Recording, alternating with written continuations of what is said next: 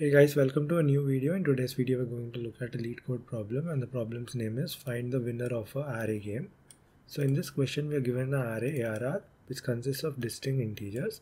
We are also given an integer k. So you have to play a game with this given array where you take the first two elements inside the array and in each round you compare the first two elements at index position 0 at 1 0 and 1 and among these two integers the larger integer wins and remains at position 0 and the loser integer moves to the end of the array. Uh, so this game will end when an integer wins k consecutive rounds which is given as input and it is guaranteed that there will always be a winner in this game. Coming to the function given to us, this is the function name.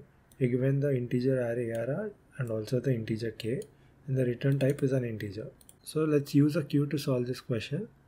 So you add all the array elements starting from index 1 into the queue and you assign the first element as the current element.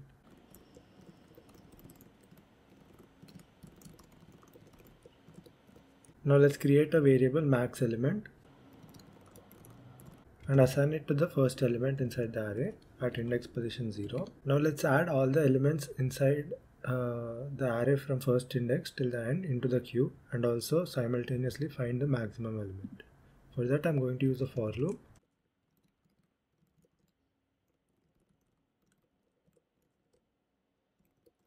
So I'm going to use the math.max function to find the max element. So let's use this for loop and start with index position 1 because you are adding all the elements from index position 1 into the queue.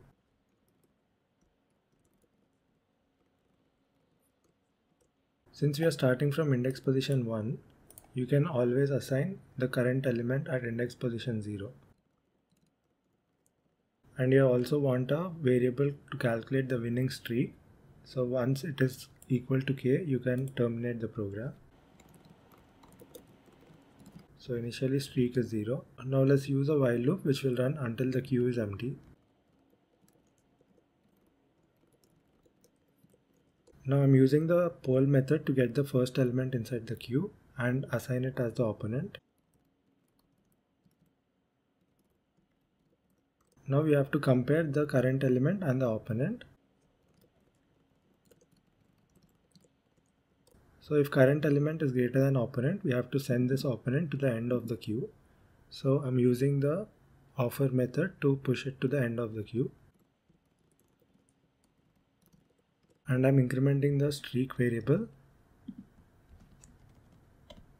by 1 each time this condition satisfies. And in the else block, which is the opposite that opponent has won when comparing it with queue so you have to send current to the end of the queue and now assign current as the opponent and reset back win streak to 1 and now we have to check if win streak is equal to k